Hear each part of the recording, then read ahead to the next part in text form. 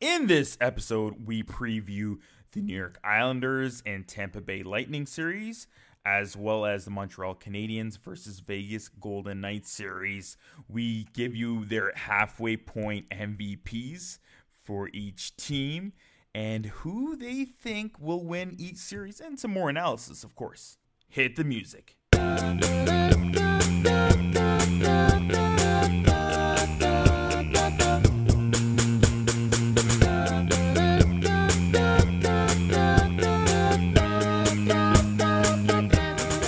Welcome to Jablam Sports Hockey, folks. I'm your host, Peter Bonjaranov, and the mic is always on. You can find me on Twitter at Russia98. You can find the full show at Jablam Sports. If you have any questions or comments, please tweet us. Use the hashtag Jablam Sports. That's J A B L A M Sports. Please subscribe to us if you haven't done so yet and click on the three dots in your podcasting app. Share our show with three hockey fans you know. Thank you, everyone. Remember, check out our website, go to jablamsports.com, see all our podcasts, and even game notes for each episode. You'll get links to all the things we mentioned on the show, including guests. For our podcasts, click on podcasts and then hockey on this show specifically right on our website.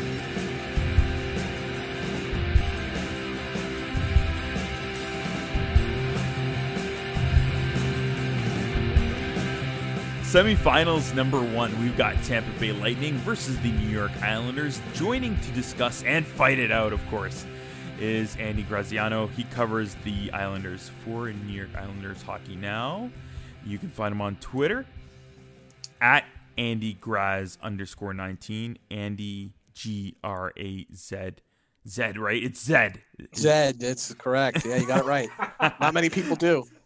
Underscore 19 it's supposed to be z right? Uh, i don't know Yes. why I, I do it the i do it that way. But yeah uh, welcome to the show andy. Thanks for having me. Appreciate it. and also back on the show is matthew esteves. He writes for raw charge a part of sb nation. You can find him on twitter at matthew s. Esteves. Matthew thank you for coming on again. Hey, thanks for having me again. The Islanders defeat the Lightning 2 to 1 in game 1 of the series. I feel that in watching that game, the Islanders did exactly what they wanted. Like I'm watching the first period and I'm reading it and like they're playing like an erratic game that doesn't let the Tampa Bay Lightning flow.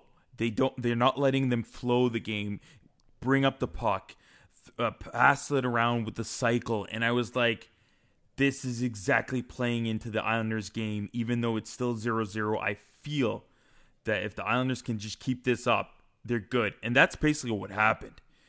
Uh, like the Lightning didn't have any real strong possession game in that first one. Islanders were controlling it.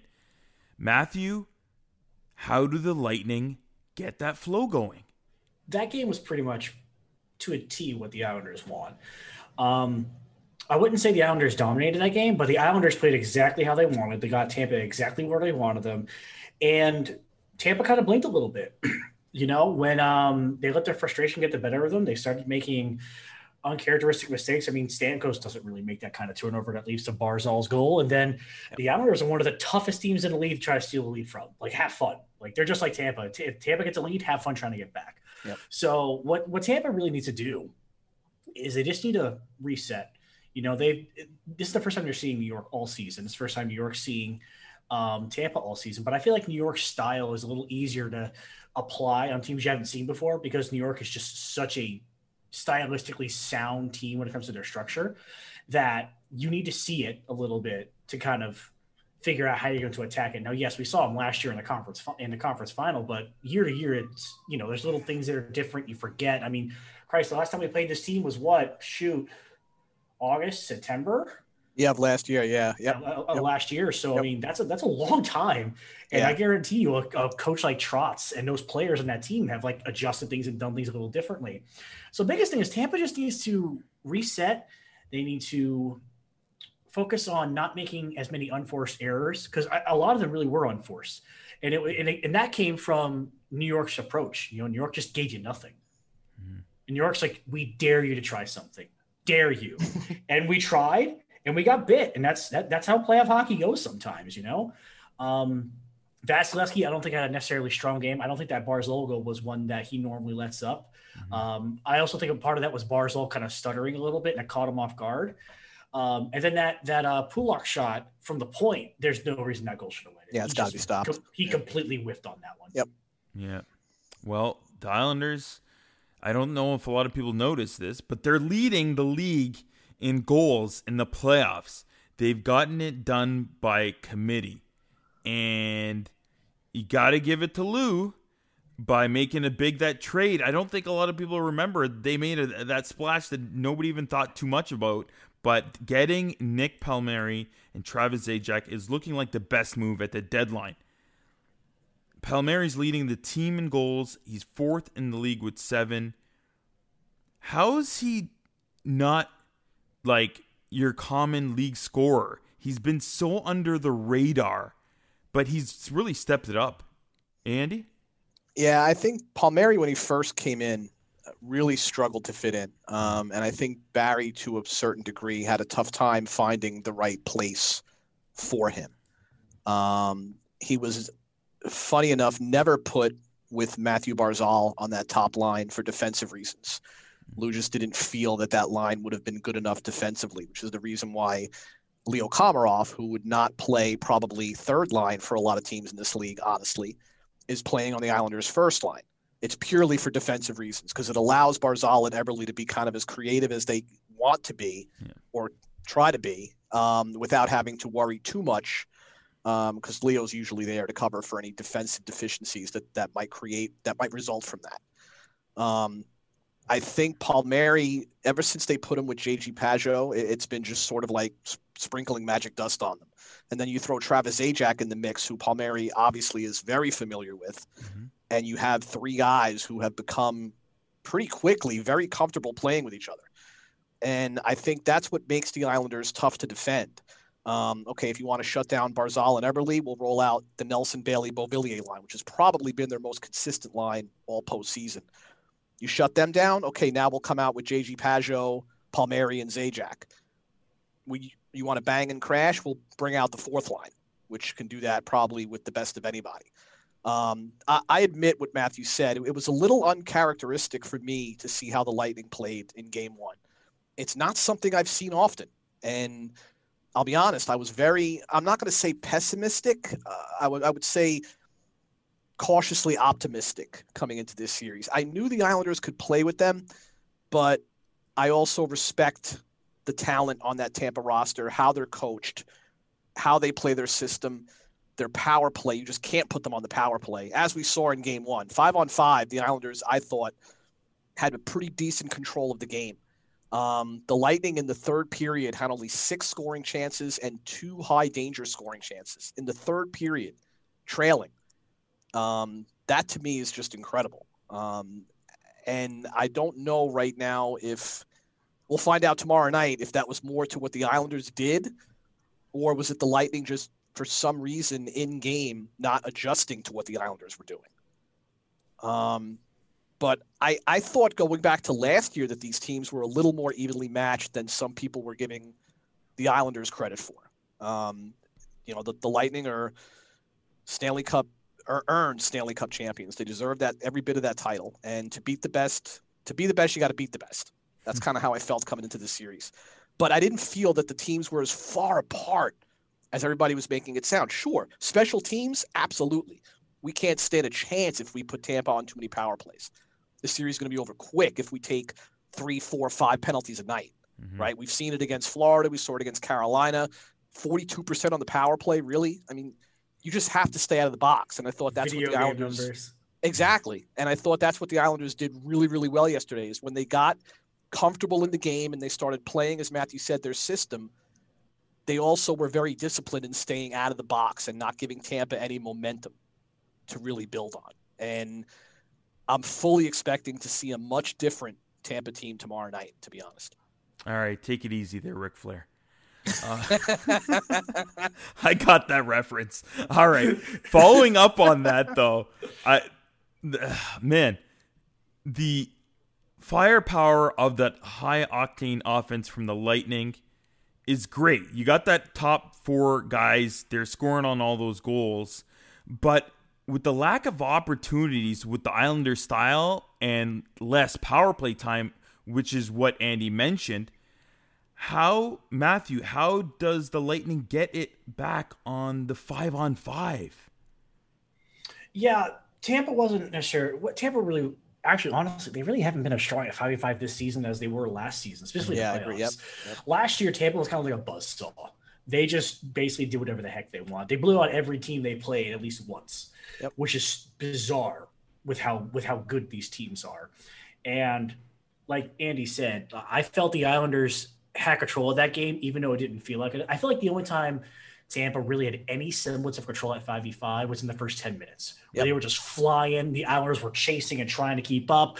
But then those two those two penalty kills came up. And those two roughings by Goodrow. And then the Islanders really settled in and they said, all right, just going to play our game. And then from there, it was really, really rough for Tampa to get anything at 5v5. So what they got to mm-hmm. do in game two, utilize their speed more. If New York is going to step up and try to cut things off on zone entries, dump it in this team dumps dumps and chase a lot more than people give them credit for. I know Brayden Point is one of the best players in the entire league when it comes to controlled zone entries, but Tampa's not afraid to just dump the puck in and go. I mean, we made a living off of that with our third line in playoffs last year with Gourde, Goodrow, and Coleman. You know, every line can do it. And we need to kind of get a little bit behind New York's defense. Right now, they're trying to just sitting there saying, We dare you to do something, you know, and we're chipping it in too soft. And New York's just recovering it and just and the thing, the thing is, is like what Andy was talking about, how New York doesn't get credit. Yeah, they really don't. I mean, do they have the star power that Tampa does? No, they don't. They have Barzal. And Barzal's a great player, but you put New York's forward core against Tampa, you, you go like, yeah, I'm going to pick Tampa's more times than not. Yep. Yep. But at the end of the day, there's still quality, good NHL players, and I think the Islanders' defense is severely underrated. They got some fantastic players. I mean, I thought I didn't think they'd be that great once once they traded Toews, but they look great back there. Like they really do. They move the puck well. They don't make a ton of mistakes, and they force you into really, really precarious positions. And I think that's something that really, really helped New York in the first game. So I feel like on top of just dumping and chasing, we've got to start making life difficult for their defensemen, especially Pulock and. Yep. Those two drive everything yep. for New York. You make their life. It's kind of the same thing that happened in the first round series against Florida, you attack the focal point of their of their of what drives their offense forward. Which for Florida it was Mackenzie Weegar, for Carolina it was Dougie Hamilton and Jaccob Slavin, and now here we got we got we got to make life difficult for Pulock and Pelech. You make it you make you make life difficult for them. It starts trickling it starts trickling down to the Nick Leddys, who's still a good player, but he's not he's not to the same level as Pulock or Pelech or anything like that. But you make their life difficult, it makes everyone else's life life difficult. And I don't feel I don't feel like Tampa really made New York's life difficult at all throughout the entire game. No, they lost a lot of they lost a lot of those 50-50 puck battles, Matthew, mm-hmm. right? That got that guys that analyze the game and like, you know, we all do. We always talk about the 50-50 puck battles. And you're right, when Tampa did finally get to that chip and chase mentality, they just could never seem to win the puck back in the board mm-hmm. battles. You saw the board battle that led to the Pulock goal where Eberle and Komarov basically just out muscled on the boards, won the puck back to Pulock for the goal. That you and I both agree Vasilevskiy should have probably stopped nine and a half times out of 10 mm-hmm. um, but and and again, I think that's what kind of Cooper was talking about post game. He was talking about the fact that he felt his team beat themselves more than the Islanders beat them. Now that's just a coach also pumping up his team and making sure he doesn't get too down on his squad after one loss, which is what Jon Cooper does really well. And again, fans look at that on Twitter and they're like, "Oh my God, this guy doesn't give us any credit." No, it's not that. It's just that what do you want the coach to say, right? In the, the first game of the uh, I still call it the conference finals. I don't care what the NHL wants yeah, to call it. I do too. I do too. I don't care what the NHL wants to call it. I can't wait till next year we go back to normal. But uh, oh yeah, Ugh. So yeah, that's yeah. I, I mean that's a, that's a terrific point, Matthew. I think they they they if they're going to be successful in this series, they're going to have to win those 50-50 puck battles on the boards. It, it's if they keep if they continue to lose those and continue to lose face-offs like they did in Game One, which was really one-sided. Um, it, it, it could be it could be a, a tough battle for them, a tougher battle than maybe they anticipated to add on to your point of of those face-offs, I'm not really a gigantic proponent of like face-offs in general being a, a hugely important thing. But I, I, am a, I am a big proponent of key face-offs, and right. I felt like I every agree. single key face-off in that they game, lost. the Islanders just yep. said nope, ours, yep. taking yep. away, running away with it.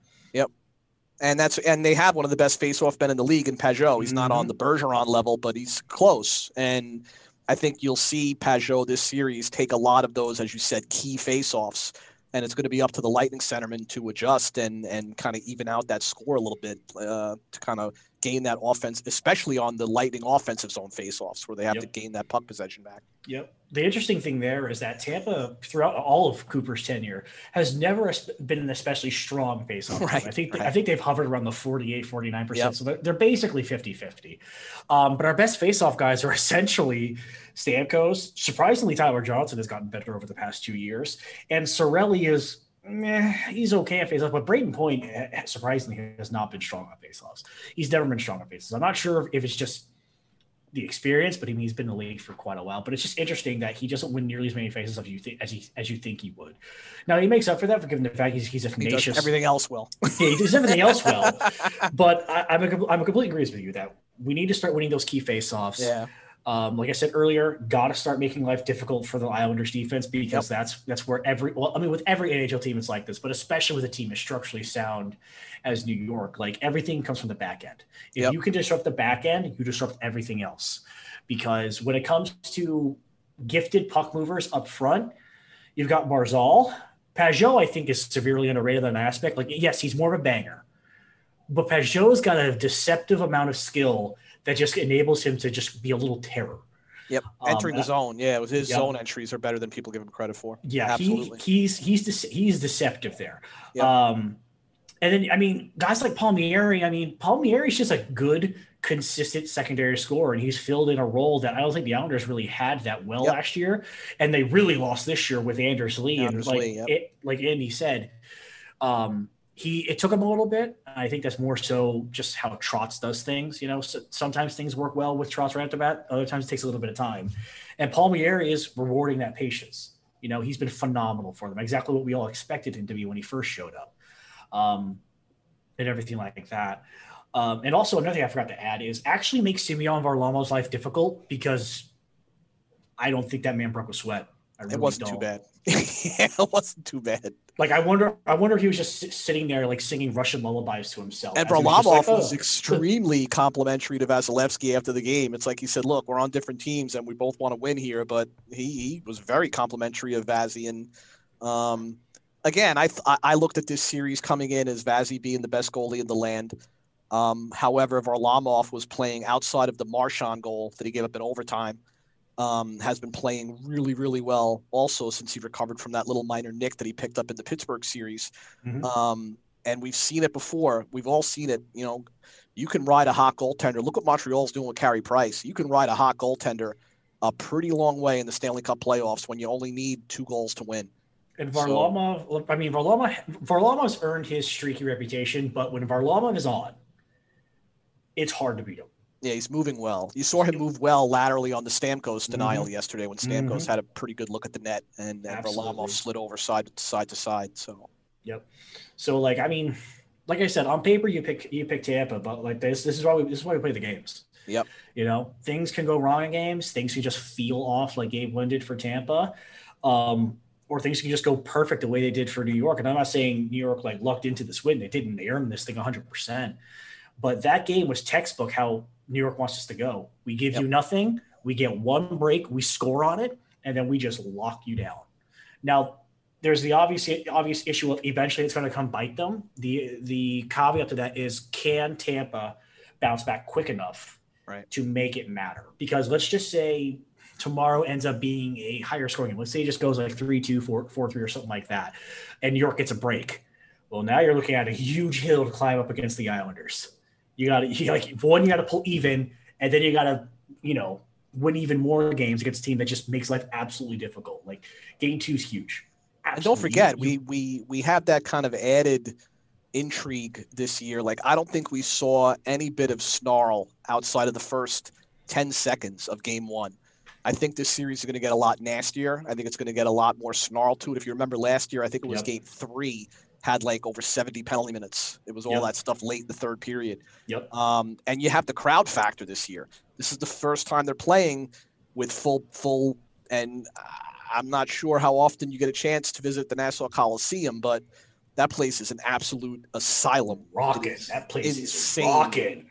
And that that really can be uh, that kind of I'll say sixth man. They say sixth man, but I'll say seventh man if I equate it to hockey. But I got you. That can really be that boost. Um, and I think the Islanders look. If you're the Islanders, you want to go for the throat. You have to go Mm-hmm. for the win tomorrow night. Obviously, you have to go for the throat. However, playing devil's advocate and you know as good as both these teams are and as good as both these teams are playing, even if the Islanders were to drop game two, you're still coming home with a split, which in the playoffs is what you always Mhm. kind of set your bottom bar at. Your bottom bar is a split. You go for the throat, try to win the two on the road, but your bottom bar is always that split. Um, so I think the Islanders in game one were able to accomplish what they set out to accomplish and at the same time give themselves a little confidence that, hey, we can play with these guys regardless of what everybody's saying. Um, and that that could be a big factor as well. But as I said prior sh- to the show starting, I'm fully expecting to see a much more competitive and a much more different, aggressive uh, Tampa team tomorrow night with with less self-inflicted turnovers. Yeah, no, I completely agree. I completely agree with you, hundred percent. Um, and even like, and even uh, uh, broach this topic of of last year's series. Um, I saw a lot of people on our end be like, "Oh, we're going to blow the Islanders out." I'm like, "Yo, guys, you got to start realizing that that game one last season was a fluke. One day Like, rest. Yeah. One day rest off of off an unbelievably Well, grinding and, series, and that was the Islanders' fifth series, if you remember, because they had to do the Yep. play-in series. yep. That was already their fifth series on a day's rest. They had no Cizikas. And then in game five of that series, Pelech breaks his wrist and ends up Mhm. missing game six and having surgery. Mhm. Um, so, yeah, I mean, it's like I said, that's why I said earlier, I thought these teams coming in were a little closer, a lot closer actually than some, not all, that some were giving credit for. Um, I had this series going seven from the start. So we'll see. We'll Yeah. kind of see where this takes us. minimum for me was six. Right. minimum. Like I just, I felt like I felt like both teams were going to split the home games, no Right. matter what. All first four was going to split, and then Game Five was going to be the big seal breaker. the- whoever whoever takes Game Five is really going to be in the driver's seat, and they're going to just. Put, and both of these teams are exceptionally good at. it. They're going to put their foot down and just not let you breathe. Yeah, you saw what. Yeah, the Islanders did that to Boston, and then and then uh, the Lightning did that to Carolina very well. They didn't give them really Mhm. much of a sniff. I also that- don't. I don't feel like, like I still don't feel like New York's gotten enough credit for, like, just absolutely just suffocating Boston. You know, it's one thing it's Pittsburgh because I don't think I don't think Pittsburgh is necessarily as great as everyone thinks they are, and their goaltending completely took a nosedive. Yeah, Um, Tristan Jarry, Tristan Jarry. Between you, you saw it. I we all saw it. Tristan Jarry was out of it. gave us a lot of gifts. He was gave out us of a lot of gifts. And then Rask had the labrum issue. Played well a couple of games. Totally, totally crapped the bed in game six. Um, but I still feel like the Islanders just suffocated Boston on that. Yeah. they just didn't Yeah, like. especially Yeah, Boston had the six. yeah, like Boston had the volume, absolutely. But when it came down to it, I just like I just felt like New York was in full control no matter what. They were like, "Yeah, go ahead, take those shots. Right. You ain't gonna from score." the outside. Yeah. Yep. All right. Uh, I, I just woke up from my nap. They kind of cut you out there. For, sorry about yeah, that. we kind of we, it kind of became a two man show here of us just going, "Don't worry, we got this. Don't worry Sorry about, about that. What's going on here? Are we we're talking hockey? Is that what's going on? Oh, oh yeah, that's right. Okay. Uh, let me get in a question here. How about that? Like, Can I get in a question? All right. Sorry, man. We started talking hockey. It's what we do. All right. That's You guys uh, touched base on a few things. Uh, I did want to go back to uh, the goaltending, and you and you and and you mentioned it a little bit that uh, Varlamov is really underrated. Even Matthew mentioned it too, like the way he's played, and even last year, phenomenal. And like I don't know how you do this. He's if you go back to the, even the regular season, he was the second best goaltender in save percentage. He was right Yeah, he there could have been a- behind. he- in he could have been a Vezina, uh, Vezina Trophy uh, finalist. He could have been. Yeah, he could have been. It should have been over Grubauer, in my opinion, Yeah, but that's well, neither here nor there. uh, yeah, that's for another day. Win stat, win stat, so important. Even though wins isn't a goaltending stat. and uh, during the playoffs, he's he's up there with all of them. Uh, Nine thirty save percentage as well. So he's playing extremely well in the playoffs, as we've seen. So how come we don't put him in the same tier as Carey Price, Marc Andre Fleury, or the one on the other side of the ice, Vasilevskiy? What does Varlamov have to do to put him in that echelon of goaltenders? Does he need to win, Win. this cup? Does he need to Yeah, win a Vezina? Yeah, you look at. I mean, Marc Andre Fleury is just Marc Andre Fleury. I mean, I was, I had the the fortunate luck of being in Vegas for Game Two of their series against Minnesota, and uh, my son and I got tickets and got to experience for the first time the the Vegas hockey experience. Mhm. And to see Marc Andre Fleury, I, I've always obviously been covering the game for eight years as a credentialed writer, so I've seen him, I've talked to him, but to actually sit there as a fan and see him live uh, just like it's just a whole nother level of appreciation for how how he's playing. Um, and he's won, right? Andrei Vasilevskiy has won. Uh, I, so I think at the end of the day, Semyon Varlamov just has to do one thing, just has to win, and that should put him in that same conversation once he once he gets over the hump, so to speak. And he has had some, as Matthew said, consistency issues in the past. So maybe that's another reason why people kind of don't um, quote unquote trust him as much as they would trust the other guys who have won in this league and won Stanley Cups. So on the other side of the ice, of course, as mentioned before, he's the reigning Stanley Cup champion, the 2019 Vezina wi- winner, and quite possibly, pretty much could win it again this year. Vasi put this team on the back on his back during the season because they were missing Kucherov, and he was he could be even nominated for the Hart in my opinion. Uh, with the Islanders' solid defensive style, and you even saw in game one, he maybe flubbed in one or two of those. He's going to really need to limit those, you know, those flubs, those errors. Can he do that against Islanders? Oh, I don't even think that's even a question to be asked. I mean, this is Andrei Vasilevskiy we're talking about. He is he's completely flipped a switch starting last postseason. Like last postseason, he was a wall. Um, and this season, he somehow elevated his play. He has been easily the team's MVP. Uh, easily could have gotten Conn Smythe votes last year. Well, he did, but he should have been gotten more. Uh, that's a different discussion. I still think someone else should have won the Conn Smythe over Hedman, but that's neither here nor there.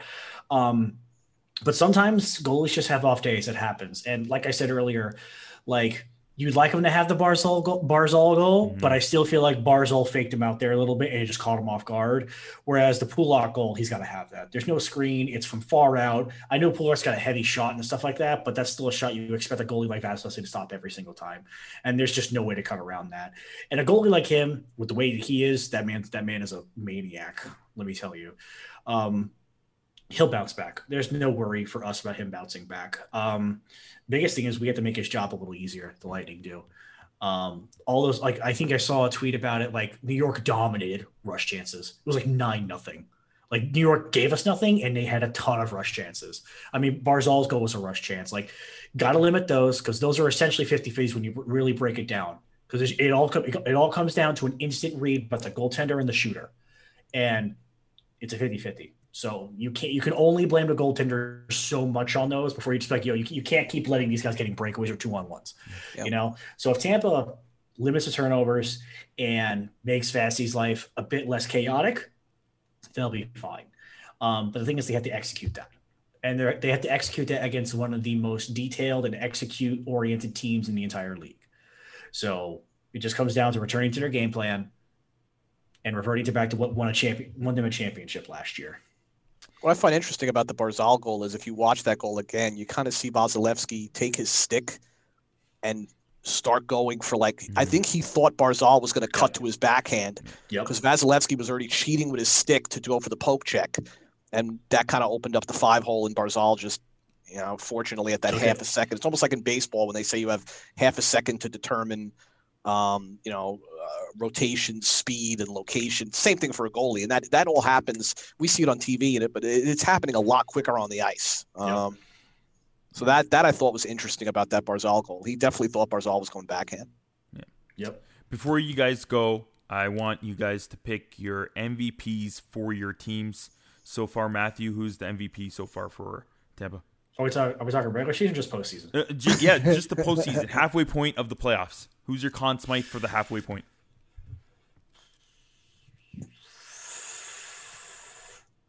Probably a two-way tie between Point and Vasilevskiy right now. Oh, he went two way tie. Oh man, It's hard. It's hard, man, because because let's be honest, Vasilevskiy wasn't as sharp as he should have been against Florida, except for Game Six. he was sharp Carol- against Carolina, except for the game. The six four game was the only. Yeah, oppor- you know, Carolina, he was pretty much Vasilevskiy for every game except for that one game. Yep. Um, and honestly, like you can only really blame one goal on him in game one. Agreed. Um, whereas Point has been a buzzsaw the entire postseason. He, I mean, he leads the league in goals right now. Yep. Um, he's been a buzzsaw. He's been noticeable every single time he's on the ice. I think he's only not been noticeable one game. I think that was game five against Florida. And then he came out and just made Florida's life absolute hell in game six. Yep. So it's hard to really lean one way or the other. If, if you're going to twist my arm and say which one, I'll say point. There you go. We got him to commit. There you go. Andy, who's your MVP? I'm gonna go. Uh, I'm gonna say someone, I, and I don't know. Maybe people will expect this. Maybe they won't. It, for me, it's Adam Pelech. Uh, he has been just an absolute monster in this postseason, um, and he is looking at a mighty big payday um, when everything is all said and done. Because he is he has been by far for me the island the Islanders' best defenseman. Um, for me, he, he definitely deserves Conn Smythe consideration. Again, you can find them on Twitter at Matthew S. Esteves for Matthew and at Andy Graz underscore 19 for Andy. Thank you for stopping by, gentlemen.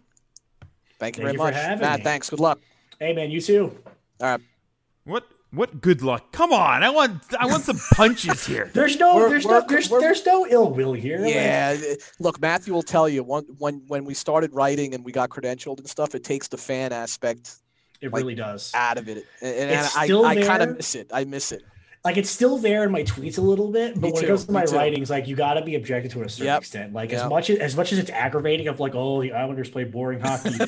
yeah, they play good defense. I mean, you can't dispute that, man. Like they're a fantastic team on the back end, and they drive it forward. Like you have to respect that. My Look, goodness. my wife and son are Ranger fans. okay? Oh, I'm so sorry. I have learned. I'm how to so sorry. I've learned. I have learned to put my fan card in my pocket and play it right down the middle and play nice. It's only sports. It's only sports. Get out of here. Hit, you guys are hitting each other with pillows and stuff. I want to see some. Hey some man, I'm not, I'm not, I'm not here for the hot takes. I'm here for good quality discussion. There you all right? go. There you go. Good quality content. All right, go la-di da. Hold your hands the rest of this series. Have a good night. Thanks, Peter. Thanks for having us on. Appreciate it. Thanks, man. I appreciate it.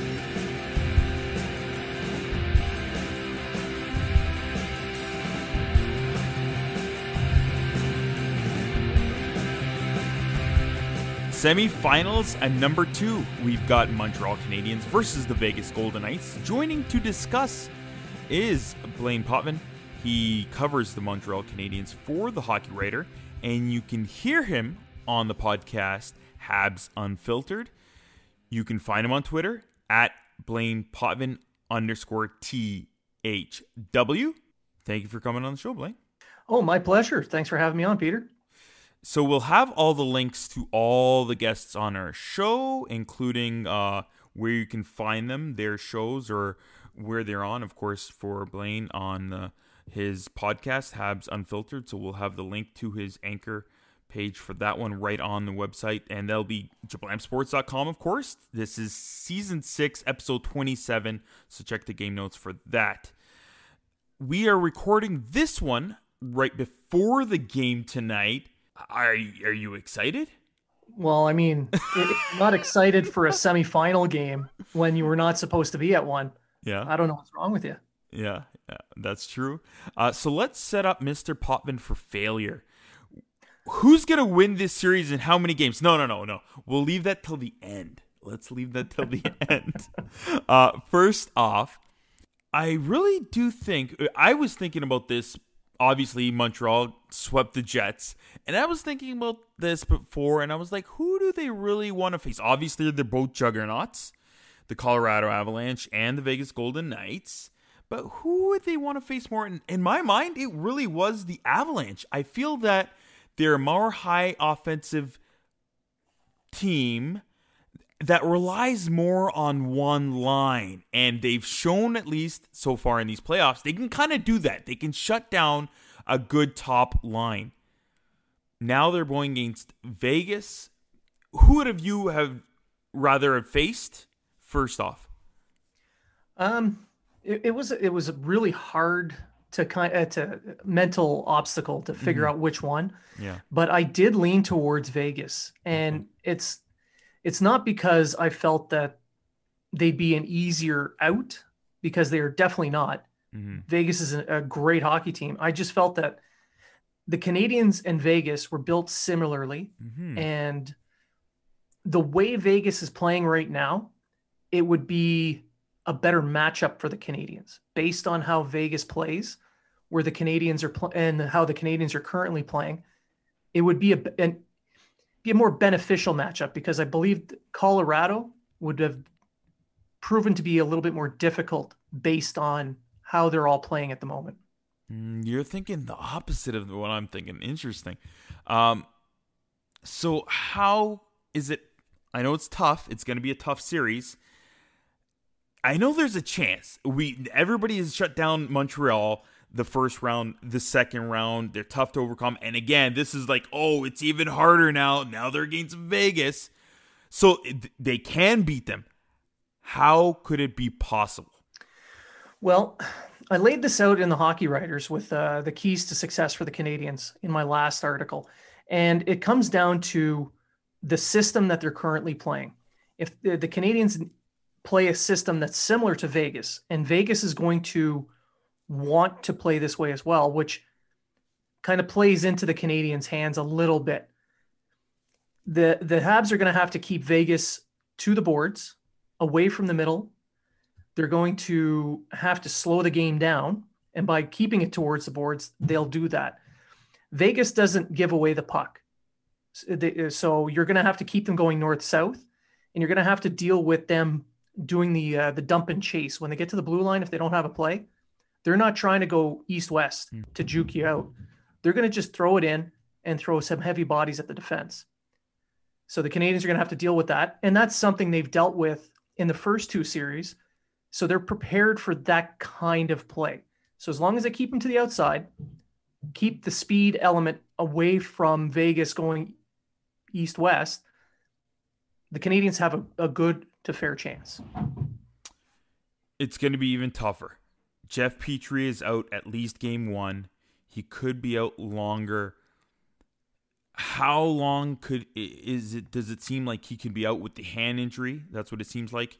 And who who's going to come in the lineup and even try to replace the sh- skates of particularly their best defenseman? Well, Petry, he's definitely out game one. There's talk that he might play game two. He's got two dislocated fingers in his right hand, and he's playing with a uh, a, a, a modified glove. So, if he does play, clearly that would be uh, there'd be some effects with his passing, his shooting. The physical play and the skating and the gap control will still be there, but it's it's that transition game that he brings that there would definitely be an issue. Replacing him, you can't. You just can't. So you're going to have to rely on people like Weber and Chiarot and Edmundson to step their games up a little bit and eat up some of the uh, responsibility. Romanov is going to slot in, and he didn't play a lot in his last game in Game Four versus Winnipeg, but he played a flawless, m- mistake-free game, and that's what they're going to need from him to, uh, in uh, Game One. So he might play 12, he might play 14 minutes, but however much he plays, he's going to have to play flawless, mistake free hockey. Coach Dom Ducharme, he started the playoffs. He wasn't playing the young guys, right? Uh, Cole Caufield, uh, didn't play. They got in the lineup and they just bang and bang, and they were just firing on all cylinders, and they've been great. Romanov has been sitting in the press box for most of these playoffs. Do you think he may, might have maybe learned something while sitting in the press box watching these games, and then he might be a little bit better because of that? Is Coach Dom Ducharme actually his his his magical wizard things working? Well, um, you can't argue with the results so far. Mm-hmm. I mean, granted, Romanov only played the one game and he only played a little over 10 minutes. With Romanov in the regular season, the issues for him was that he was extending his shifts too long. So he'd be out there for a minute and a half, little bit longer. And Ducharme wanted him to shorten his shifts. And in the game against Winnipeg in game four, we saw 50 second to one minute shifts religiously. He'd go out, play his short shift, and get off the ice. So if that's what he learned and it's working, then let's hope it continues. Hmm. We'll see uh, as early as the, this game tonight. Um, one thing I want to touch base on, and I don't know about uh, people within the Montreal area, but outside, I don't know. I think some people might be wondering where is Jonathan Drouin? And we like I do know, I know he's taking a leave of absence. But if this was going on in a different fan base, like maybe not in Canada, maybe not in Toronto, Montreal, but say Boston, there would be a little bit of an uproar. We saw that with Tuukka last year. How is everybody just like, oh, okay, like he's dealing with something and may- maybe it's personal or a family matter we're going to leave him alone? Well, the majority of the fan base is doing that now. Mm-hmm. And I'm going to counter that. If this was in another in another hockey market, mm-hmm. this would not be an issue. The uh, the abuse that uh, Drouin has taken for simply being traded into the team and not being the next Guy Lafleur the the abuse he took was beyond reasonable.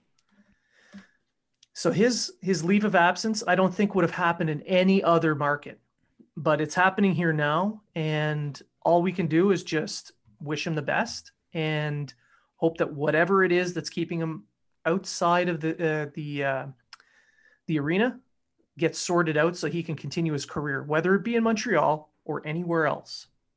Yeah, we do wish him the best of luck. Montreal is one of the teams that is, again, if they had a player like Drouin playing, would help them because they don't have anybody in, in, up there in offense, right? If you look at stats right now, if you look at the leaders, they don't have anybody in goals or in points in the top 15 in these playoffs. If I know some teams, we've seen some, and Montreal did a great job of shutting down uh, Matthews and Marner, and they're going to need to do that again in this round. Um, and again, they got, you know, stupid, uh, foolish play by Scheifele. But they're going to need maybe to rely on someone a little bit more.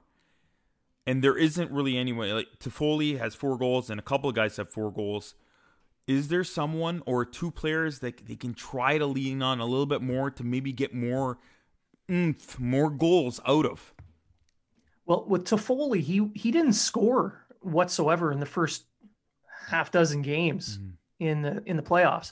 Once he got his first goal, he it started to roll for him. He really started to shine in that Jets series, and the expectation is he'll continue. For the Canadians scoring, they're they're doing it by committee, just like the uh, the Vegas Golden Knights. They don't have any like one superstar goal scorer like uh, like an Ovechkin. Uh, granted, Pacioretty is a very good goal scorer. Mark Stone is a great two way player, but they're not they're not those guys that you rely on for offense, uh, you know, at a at the drop of a hat. So like the uh, the Golden Knights, the Canadians have to score by committee. One player that sh- we're, Habs fans are kind of hoping to see more from offensively is Caufield. Now Caufield's played extremely well, two way game. He has generated a ton of scoring chances. He's uh, he's put up a, some pretty big assists on uh, two overtime goals, mm-hmm. but he he he needs to get that puck in the net. And uh, once he gets that first one, I think it's going to be the floodgates are going to open, and we're going to see a different a different level from this young man. Is there maybe a better fit for Caufield because he is that type of guy that's good at finding areas and being ready for that shot. And it seems like he's not maybe being utilized in that role per se that he can score a lot where it seems like like we saw the overtime winner. He's great job, digged out the puck and set up Toffoli And we've seen some other great passes. But he is a scorer. So what's missing for that? I don't think it's anything that's um, that's being done to help him. I, I, I think with Suzuki, he's got the right center for his type of game because Suzuki has a great on ice vision. He anticipates the play well. He can see how a play is developing and he anticipates where Caufield is. There's been quite a few plays that Suzuki has generated and Caufield just didn't quite get the puck over the shoulder or you know it, it's just these a game of inches for uh, for Caufield. He's at, he's still a rookie. He hasn't played. He's played. I think it's 16 NHL games total.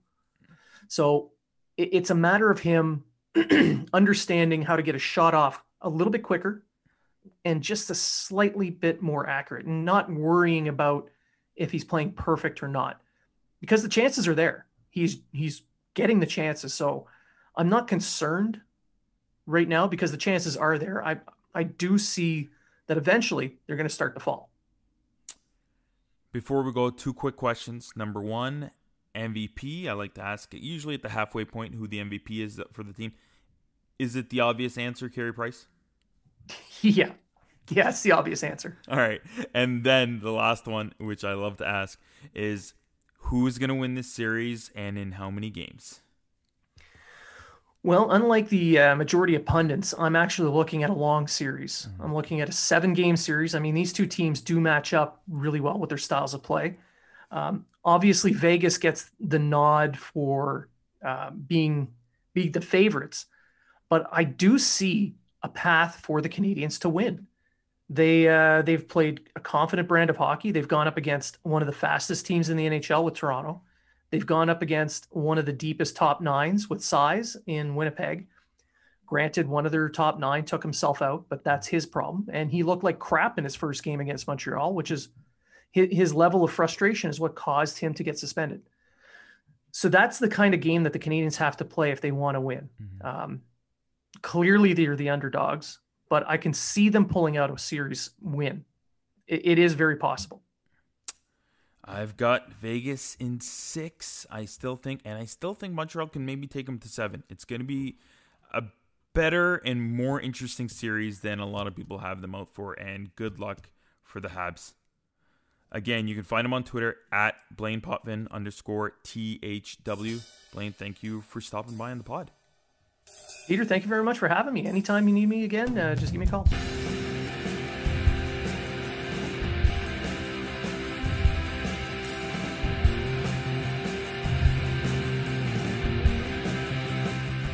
I want to thank our guests on this episode.